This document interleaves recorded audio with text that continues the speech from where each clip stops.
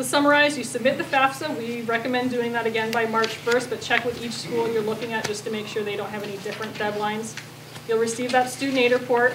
Submit any documentation requested. About a third of all applications submitted are selected for something called verification. It's kind of like an audit.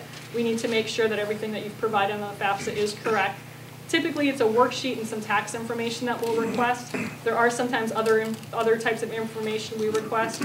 Um, For example, those dependency questions I mentioned earlier, as far as if a student is in legal guardianship or has a dependent they're providing more than half of the support for, a lot of schools will ask for documentation of that, um, just to show that, yes, that student really does meet that independent criteria.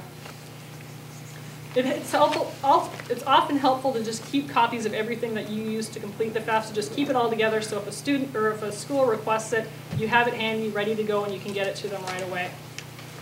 Um, Once, ev- once the school has everything they need to determine the financial aid, they're going to send that award notification. And then after that, if you think you need some additional financial aid, you can research some other financial aid options.